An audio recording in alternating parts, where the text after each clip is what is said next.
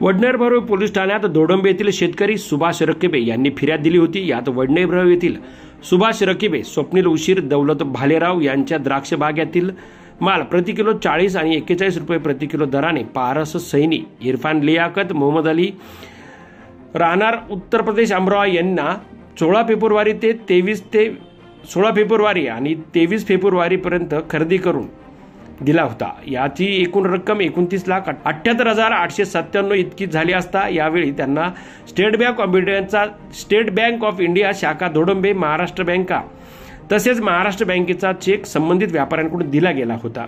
मात्र बँक खात्यात पैसे नसताना चेक देऊन चेक बाउन झाल्याची फिर्याद दिल्याने या तिघांविरोधात वडनेर भैरव पोलीस ठाण्यात गुन्हा दाखल करण्यात आलाय.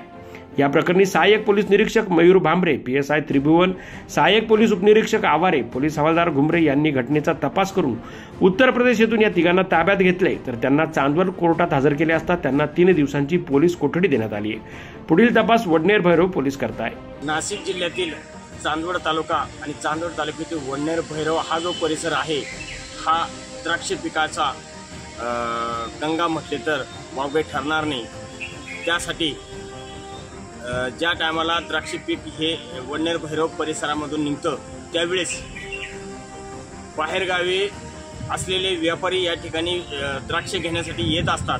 त्याच अनुषंगाने गेल्या च्या आठ महिन्यापूर्वी काही व्यापारी या ठिकाणी येऊन द्राक्ष खरेदी करण्यासाठी आलेले असताना त्यांनी सतरा ते अठरा शेतकऱ्यांना शेतकऱ्यांचा द्राक्षमाला हा खरेदी करून त्यांना त्यांचा काही मोबदला देऊन बाकीचा राहिलेला मोबदला हा त्यांनी दिले नसल्यामुळे त्यांची फसवणूक केली. या संदर्भामध्ये चांदवड तालुक्यातील वणनेर भैरव या ठिकाणतील धोरांबे गावच्या एका शेतकऱ्यांनी त्यांचा एकोणतीस लाख असा जो द्राक्षमालाचा जो ऐवज आहे तो त्यांनी दिला नसल्यामुळे त्यांची फसवणूक केल्यामुळं वडनेर भैरव पोलीस ठाण्यामध्ये त्यांच्या विरोधात एक फिर्याद दाखल केली.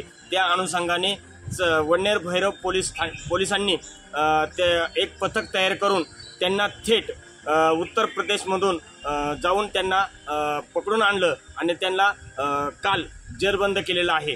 त्याच अनुषंगाने वडनेर भैरवचे A P I Bhambare Saheb R K Tribhuvan P S साहेब यांच्या यांनी काल चांदोड न्यायालयासमोर त्यांना उभं केलं असताना त्यांना तीन दिवसाची पोलीस कस्टडी दिलेली आहे.